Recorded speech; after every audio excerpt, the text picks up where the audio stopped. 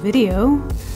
Today is going to be a finish a sketchbook with me video. It's really just me drawing and like me talking a bit about drawing in my sketchbook and I finish it from April 5th to April 8th and I think I had about eight spreads for this sketchbook left and I was near the end and I was like I think I can finish this in a week. Like it's been a busy week with other art making and like so many other things but I was like last week or whatever I was like yeah I don't know what else to film a video of so I think I'm just gonna do a finish a sketchbook in a week. And I finished it in like three days. So that was cool. Um, but yeah, this video is really just, I'm gonna kind of chit chat about some art updates and sketchbooking in general. Uh, maybe like a couple tips for those of you who have some sketchbook anxiety, like I used to have, and which I have since banished.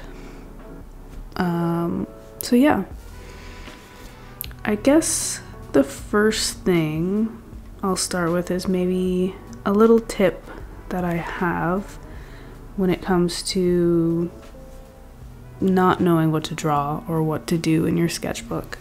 And I mean, this is all really dependent on what type of artist you are and what kind of art you like to make. But if you're just kind of like, I'm not sure, I don't really know what to do, I think the best way to do it is to pull up Pinterest or I guess Google if you wish.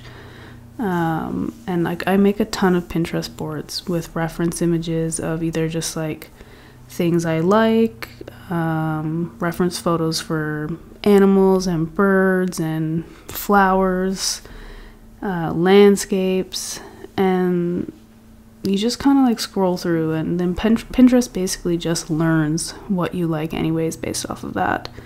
Uh, so sometimes even your front page can just be a great place if you're like, I literally don't know what to do, I don't know where to start. Just go there, scroll through, have more than one thing pulled up. If you're like, I want to sit down, I want to draw, have more than one thing pulled up and just go get your materials out beforehand. Like, have as much stuff at the ready as possible um, limit your distractions. I will sometimes put a movie on or a TV show, but not often. I'll usually have like a vlog in the background. Um, like, I don't know what it is, but other people making art makes me want to make art as well. But yeah, I would just say, yeah, like have everything ready. That is my biggest tip is have a bunch of things you're gonna need um, and just have it ready. Make it easy for yourself. That is the best way to start.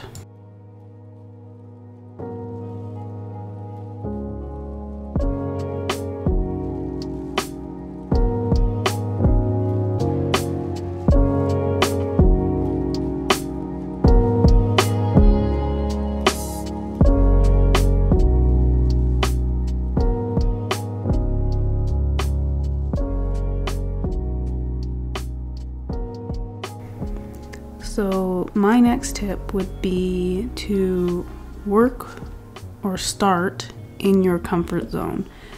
I know a lot of people like to use sketchbooks to do skills practice. I have sketchbooks for different purposes, but um, when I'm wanting to work in my kind of like doodly, get in the zone, in the flow, um, kind of more free sketchbook, I like to start despite that, in if I'm unmotivated or if I'm kind of like, eh, I don't know. Um, I like to start with something I like to draw that I know, like time and time again, I always go back to. And for me, that is birds or flowers. But as you can see here, I'm working on these birds. I realized I had like really never drawn robins before, and I was like, why is that? Like, you see them all the time in the spring. And like, Chris the other day had gotten out of bed before me for probably the first time ever. And he was like, hey, look at that big bird out outside, out in the tree in the front yard. And I was like, oh, a big bird. Like, what?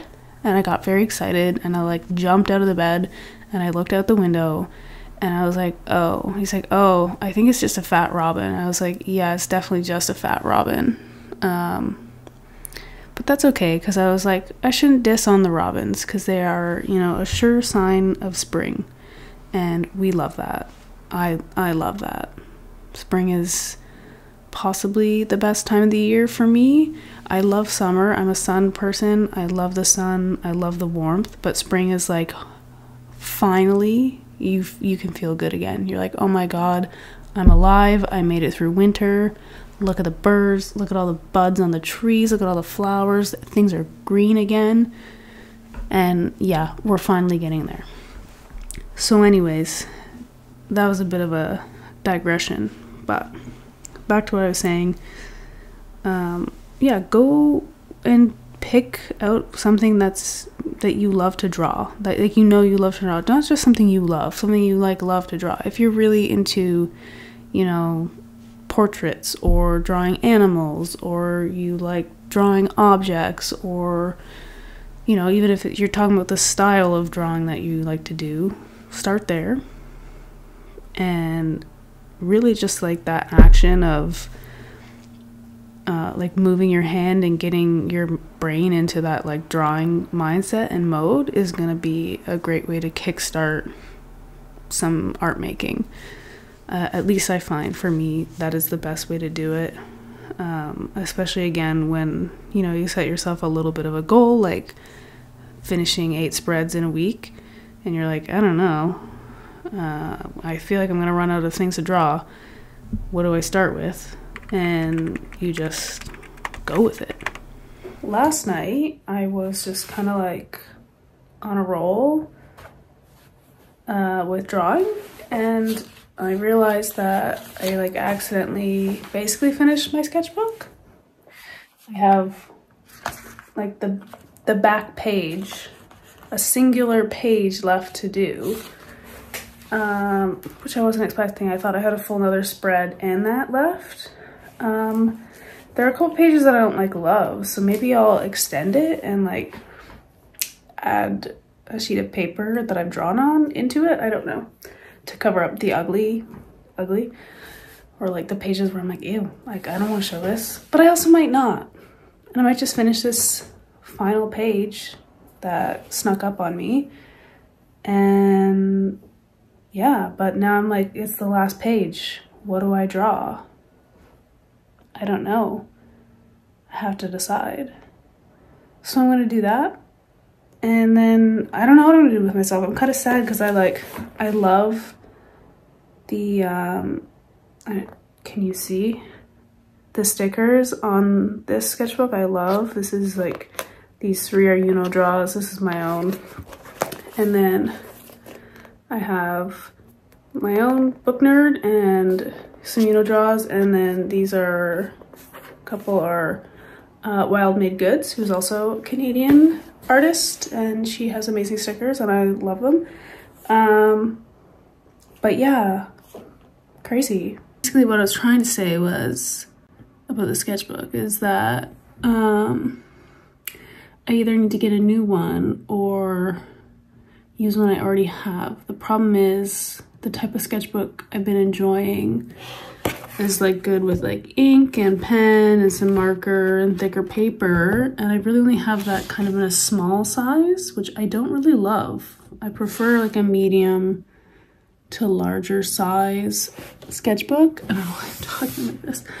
Um, yeah, I prefer like a medium or a larger, not like a pocket size generally. So I don't know what to do about that.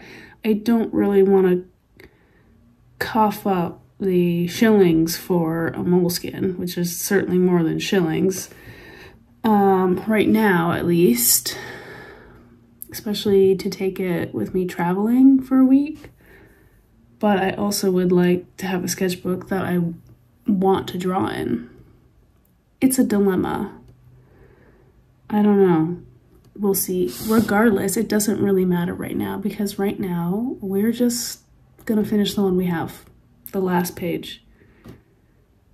Um, so yeah, see you soon. So these are the ones I did yesterday. Don't love, don't hate, pretty accurate. They were very quick and on my lap that I did them, so I can't hate too much. But yeah, or whatever. Um, this page I kind of like. Again, a don't love, don't hate kind of vibe. Um, but it was fun. Uh, yeah, I am definitely, I'm dying. Like I'm, you know, it's like a tease at this point, spring, where it's like, you can tell it's here, but it's not like a 100% here. It's kind of still like reticent. It's like, I don't know, guys, maybe you want a little bit more snow, again, especially here in Northern Ontario.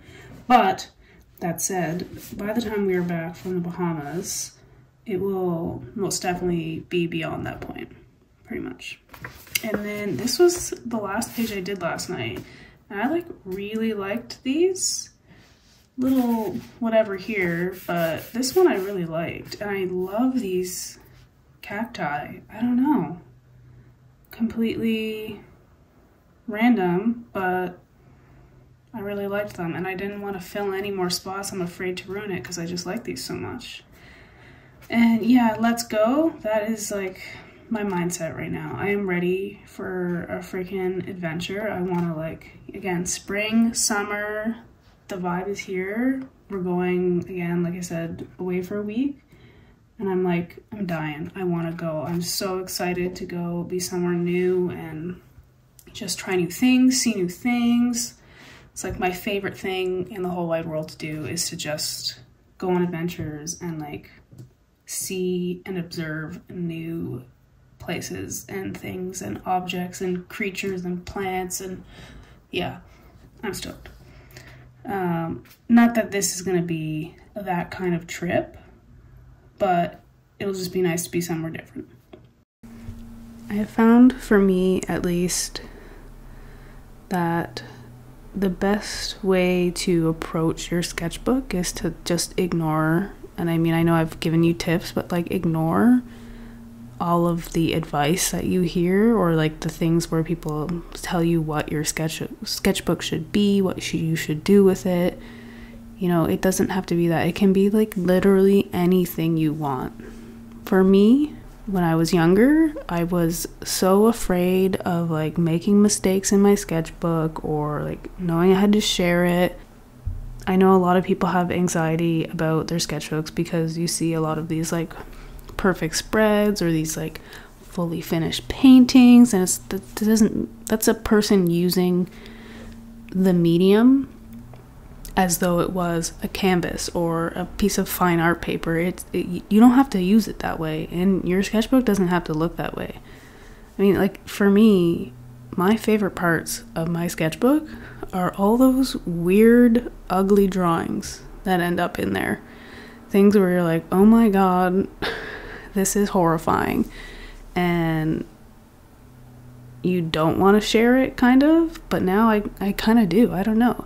I think if you can like just kind of learn to let go of your worries as if it's that simple, but but seriously, like stop creating some expectation for yourself or letting what you see create an expectation for yourself because you know, I have sketchbooks like the ones that I've seen or shown on here that you see like that's not all I work in. That's not all I do. And I can show my ugly sketchbooks if you want, or my like ones where I just do skills practice, or I just do like a quick idea. I personally don't actually really like um, working on product ideas in my sketchbook. I don't know why.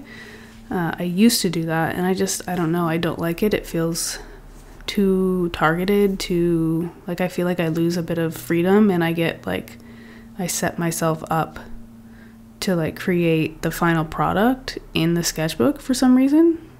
Um, so I just don't do it. I just don't do it in there. And that's all you have to do is kind of learn yourself, learn what you like to do, learn how you like to do it, and you'll be good. Don't sweat it. Okay? Just don't. Great.